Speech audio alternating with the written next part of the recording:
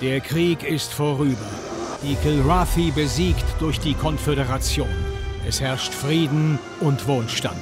Aber die Wunden der Vergangenheit heilen nur langsam. Und ein gefürchteter neuer Gegner hat das Licht der Welt erblickt. Und jetzt greifen sie uns an! Getrieben durch die Gräuel des Krieges verbreitet ein Wahnsinniger Angst und Schrecken unter den Unschuldigen. Sie werden sich wünschen, mir nie begegnet zu sein. Das tue ich schon. Die Helden von einst treten erneut in den Kampf, dessen Sieger das Schicksal der Menschheit für immer bestimmen wird.